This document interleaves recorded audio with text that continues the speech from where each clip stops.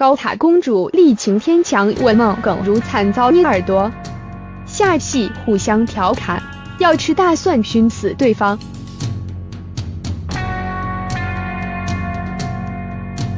最后更对镜头甜蜜喊话，并欲吻上孟耿如的唯美画面。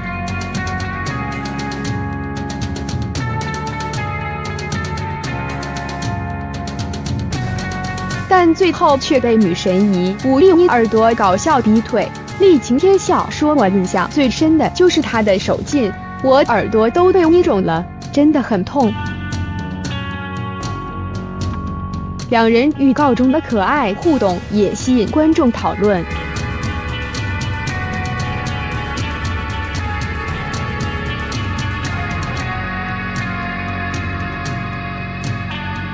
耿如表示，虽然我的吻戏经验不算多，但也不像刚入行那样容易紧张了。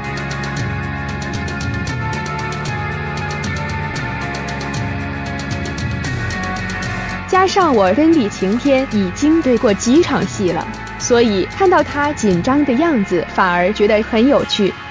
不过他都有注意到吻戏该有的礼节，麻绅士的。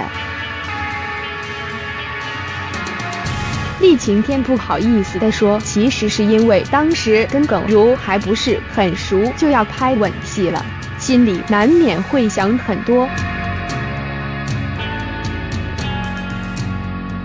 一来怕如果导演要比较激烈的画面会不会尴尬；二来是惊觉忘记买口香糖，超怕自己会有味道。”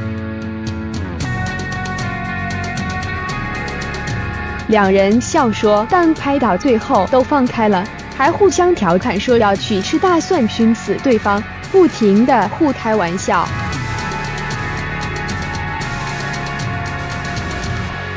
厉晴天也笑说，有跟女神亲密接触的好康都是有代价的，原来是他年假后的第一场戏竟是睡公园。他大笑说：“尾牙时我才被康永哥说很看好这次的表现，没想到一个假期回来我就要半夜在公园铺了报纸睡，跟我理想中偶像剧的样子差很大。”